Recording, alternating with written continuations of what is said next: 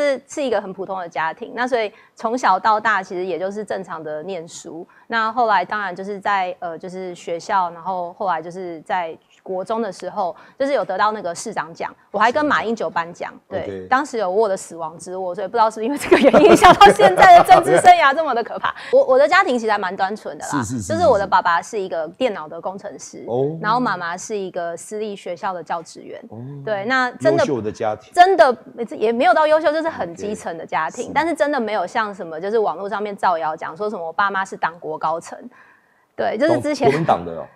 没有，他们没有。我跟你讲，我爸爸是比较偏民进党的，偏民进。然后我妈妈是比较偏国民党，所以我我以前小时候还会被我爸拖去那个阿扁的募款参会，小时候就戴着扁帽去跟爸爸去。所以其实真的没有像什么网络上面造谣说什么我爸爸是国民党的党国高层啊，然后又什么就是可以安插我去什么做中共间谍，真的都没有。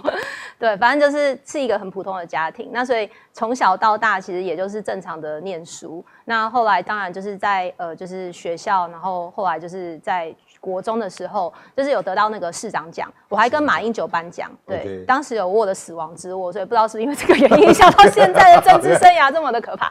然后后来就是进到了北一女中，然后就跟爸爸一样，就是说，哎，从小就是喜欢打电脑，所以我就进去念那个资讯工程相关的领域。对，所以才从师大，然后再到台大。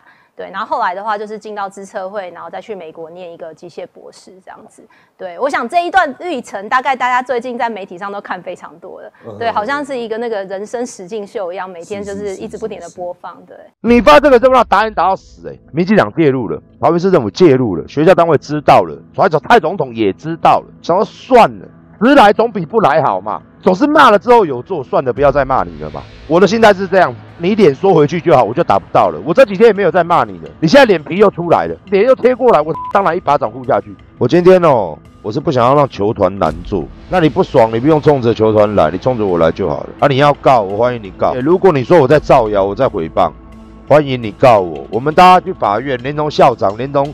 你们学校人都调证人去法院嘛，然后大家把账翻出来嘛，让法官去查一查嘛。你一开始怎么不出来，直接直接直接碰我？你看这个新闻报三四天的，每天都有进度嘛。今天是进度是铺地板嘛，昨天是进度是哦，终于答应了二十四小时，让他让他继续修。桃园市政府也帮忙，体育处也帮忙，体育局也帮忙，中央也帮忙，呃，大家都帮忙，然后一大堆政治人物、立委都去帮忙。我讲一个白的啦，如果今天。我讲出来的不是事实，那你们后面做那么多动作，是不是事实嘛？是嘛？馆长提到子宫宗教及直票团体承租，咸与事实不符。我有说你只租给直销跟子一吗？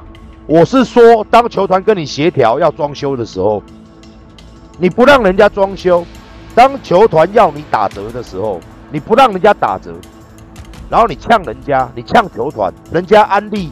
人家紫衣神教一次就是几百万在租的，租你们还算便宜。你有没有讲嘛？啊，你没有讲，我怎么知道？人家前面三个月协调，然后帮你做了一大堆东西。我再给大家讲详细一点，上个月的过程就是球团一直跟学校要求他们要装修，我没看，而且是在 Howard 没来之前，云豹的老板就打算花了很多钱去改善这个球场，结果他们校方就很恶意的刁难、拖延，然后说法律。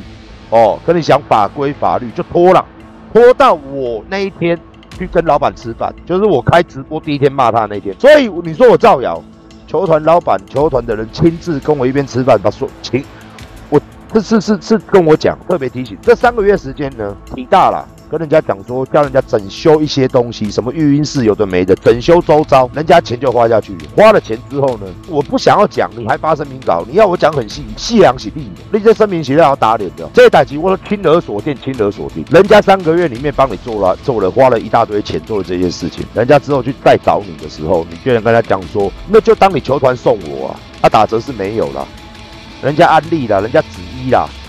人家怎么样几百万呢？你是不是动不动就跟人家讲这个嘛？人家今天要花这么多钱跟你提出计划，商量三个月，前面答应人家，后面又拖，后面到最后又不让人家做，然后又不减租嘛？他说我说的涨跌单场不符嘛？哦，一百万的事实不符。云豹球团租用体育馆比赛部分，比赛当日依照布拉布拉布拉布拉布拉，他说收十三万五千，来这个很好笑，未含冷气清洁费，非比赛日五折。